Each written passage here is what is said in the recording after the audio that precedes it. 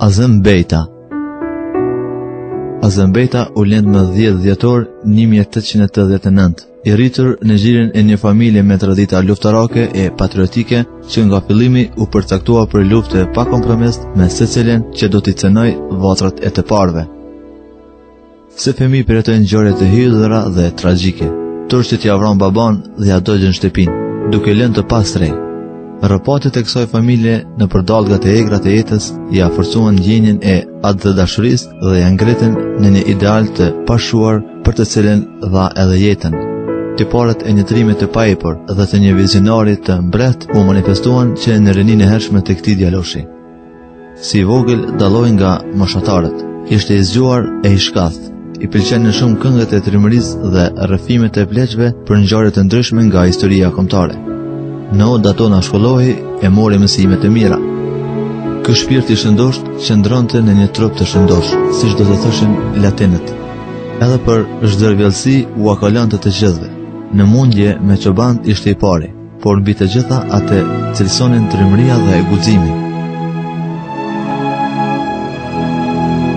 Ende pa i mbushur 11 vjet me pushkën e dajës e pati plagosur një serb të Selacit, Stojanin, të cilit ia kishin frikën të gjithë.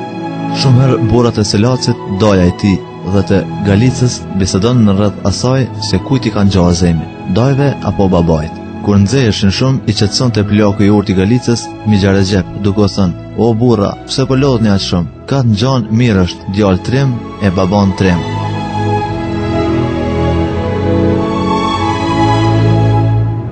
Gjatë viteve 1910-1912 shpërthyen kryengritjet e përgjithshme për pavarësinë e tokave shqiptare. Me 5 maj 1912 Hasan Prishtina doli në Drenicë, i mbathi opingat dhe e dha kushtrimin për një luftë mbarëkombëtare kundër perandorisë osmane. Edhe Azemi 20 vjeçar u radhit në çetat kryengritëse të Drenicës, të udhëhequra nga Ahmet Delia i Prekazit. Kur drenicasit dhe shaljanët ishin nisur për luftë, Për bri tyre marshonte Isa Boletini, hipur mbi kalë e i shoqëruar nga disa trima. Në mes të shumë trimave i ra në sy djaloshi sypatrembur e i etshëm për luftë. I kujt është ai djalë? pyeti Isa Boletini. I biri i Bejtë Galicës, Azemi, iu përgjigj njëri nga trimat që e shoqëronte. Isa e ngau kalin dhe iu afrua Azemit. Pasi u përshëndet me të, ai ia vuri dorën në krah dhe e përgëzoi. Të lumtur djalosh trim, ti paske vendosur ta dërgosh në vend amanetin e babait tënd, ta vazhdosh rrugën e tij luftarake. Kjo është rrugë e vështirë, por e lavdishme dhe e ndershme. Zemra m'u bë mal nga gëzimi, sepse Bejta nuk paska vdekur. Shpirtin e tij luftarak po e shoh në sytë e tu të etshëm për liri.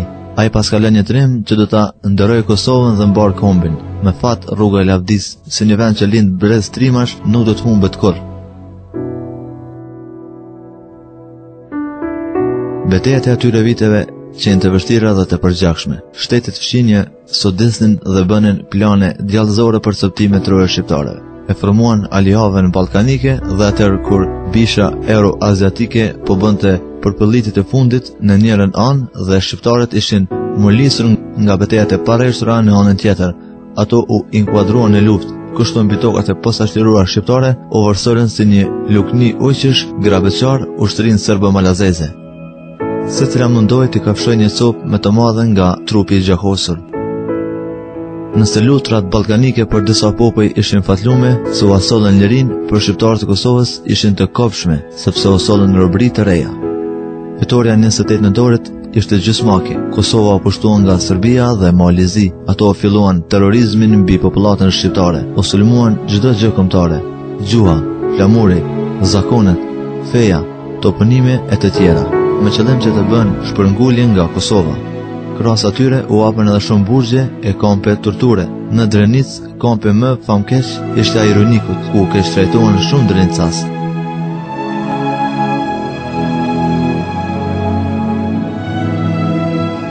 Azem Bejta të gjitha këto ngjarje i përjetoi vetë në vijën e frontit, kurrë nuk iu nda luftërave të lirisë.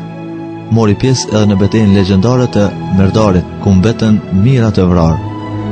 Posa ishte kthyer nga betejat, ishte arrestuar dhe burgosur. Disa ditë ishte mbajtur në stacionin e Tërnavcit, Për çdo ditë e detyronin të punojë në rrugën Mitrovicë-Pejë. Një ditë derisa po punonte në Vojtesh, ra në konflikt me xhandarin që i shoqëronte. E qëlloi me çekan duke e plagosur për vdekje. Atëherë e dërguan në kampin e Runikut. Atje kalonte shumë keq. Jeta ishte e rëndë dhe e mundimshme. Të burgosurët i kishin futur në një baltë të madhe, midis një livadhi të rrethuar me tela gjembaç e me roje të dyfishuara. Shumë vdesnin nga mundimet dhe torturat.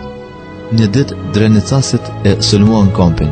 Organet shtetërore të mllefosura i qesin në pushkatim të burgosurit. Azemi arrin të shpëtojë midis plumbave. Ishte fundi i vitit 1913.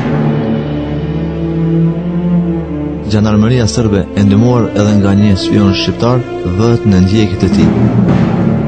E hetojnë dhe e rrethojnë në malet e Mikushnicës. I paarmatosur dhe duarlidhur plagosin në dorën e majtë. Nga ky moment, gishtat e kësaj dore mbeten të palëvizshëm. Pas disa orësh, kapet dhe dërgohet në burgun e Mitrovicës. Të nesërmen, i arrestojnë edhe dy vëllezërit, Seferin dhe Zenelin, dhe bashkë me shumë të rinj nga Drenica i burgosin. Pas disa ditësh, të gjithë i nisën për në Serbi. Pak ditë i mbajtën në Zajeqar e pastaj i transferojnë në Pozharevc, në burgun më të rëndë të kohës. Në burg jeta ishte e mjerushme, i ushqenin sa për të mos vdekur. Mbi një vit e kaluan në vetmi të plotë, nëpër qelitë e nëndheshme përplot lagështi, errësirë e myk. Krahas tyre mbi ta për çdo ditë ushtrohej edhe më shumë torturë, torturë barbare e tipit mesjetar, por megjithatë duhej mbijetuar. Azemi ishte optimist dhe mbante qëndrim burrëror. Kurrë nuk u gjunjëzova, as nuk u zhgënjeva. Në zemrën e tij kishte zënë vend dashuria për Kosovën. Ajo dashuri e mbante duke ushqyer shpirtin e tij që po vuante para grilave të hekurta. Tashmë ai ishte shndërruar në një ideal të pashuar jetësor. Gjithnjë shpresonte se një ditë do të kthehet në Kosovë dhe do të vazhdonte luftën për shlirimin dhe pavarësimin e trojeve të veta. Shpesh e ëndërronte Kosovën e lirë, këtë ua thoshte edhe shokëve, e shihte veten të lirë duke vrapuar drejt saj. Si në vegim e dëgjonte zërin e mekur të nënës lokës që e thërrte në rrugën e nderit, në rrugën e pavdekshmërisë.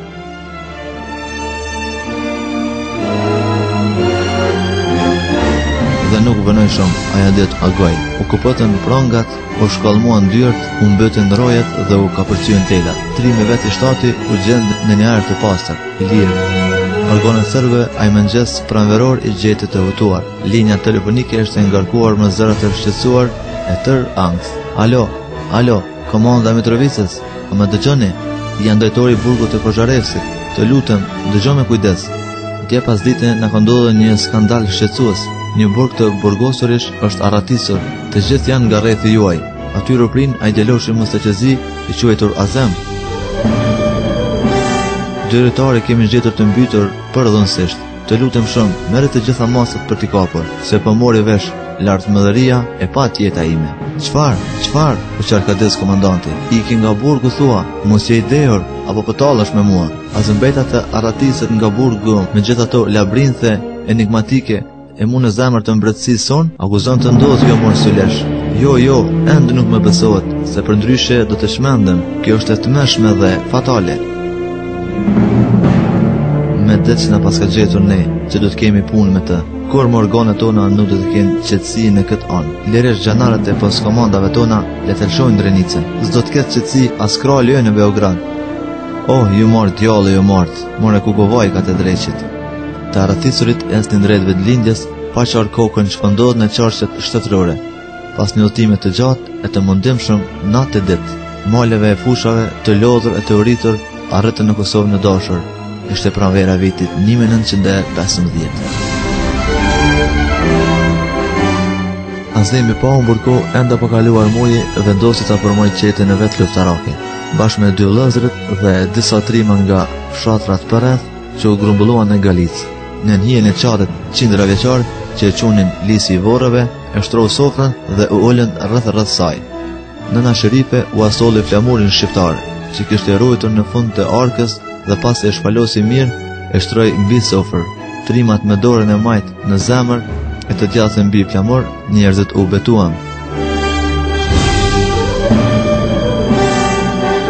Betohemi në këtë flamur të shenjtë, se sa të jemi gjallë, do të luftojmë për lirinë e këtyre trojeve. Betohemi dhe bëjmë be se për Kosovën japim jetën sikurse me le.